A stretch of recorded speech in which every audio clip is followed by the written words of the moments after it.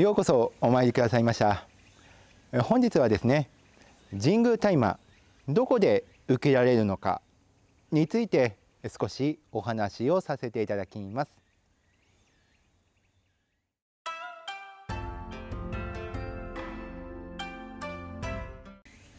皆さんのご家庭では神棚お祭りなさってますか？神棚にお祭りをするお札について多くの神社では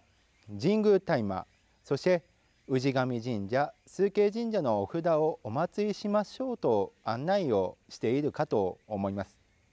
氏神神社と崇慶神社のお札というのは、まあ、それぞれの神社にお参りをして受けることができます。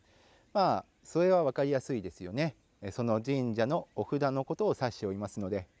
では神宮大麻はどうか？神宮大麻これは伊勢の神宮のお札のことで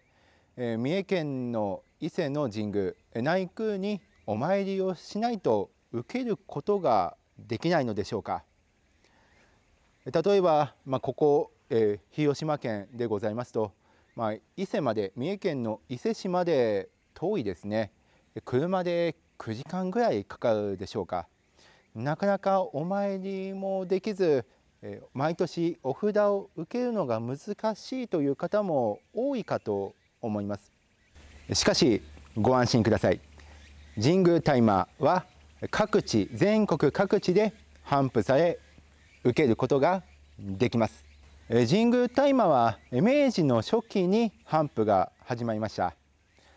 それは国民一人一人が朝夕に神宮の大神様天照大神様を慎み敬い拝みそのご神徳を受けることができるようにという明治天皇の大御心による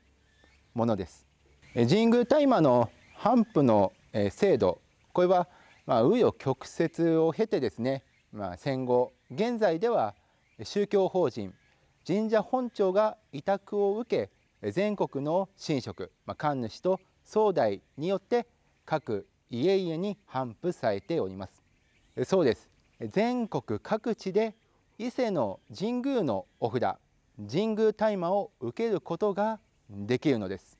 ちなみに三重県伊勢市から遠く離れたここ広島県東広島市福富町の宮崎神社でも神宮大麻を頒布しております。こうした田舎でも神職神主ですね。神職そして総代さんによって各家に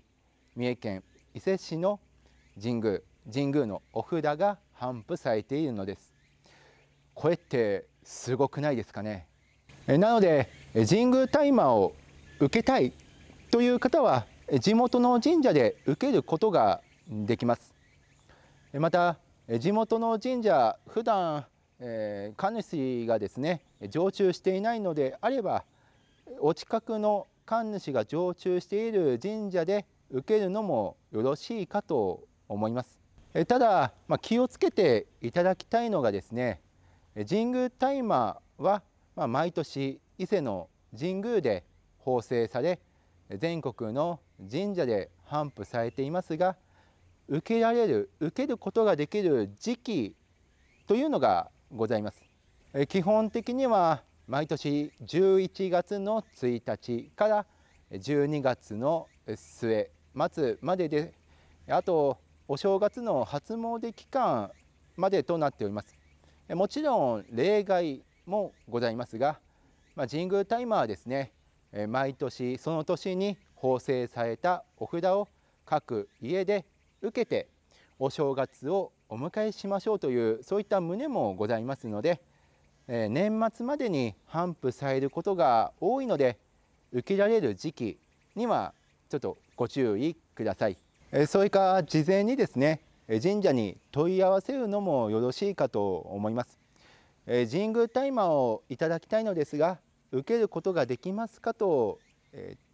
聞いていただくのもそれもよろしいかと思います。多分それが確実だと思います。皆さんもぜひご家庭で神宮大麻を受けて神棚でお祭りをしましょう。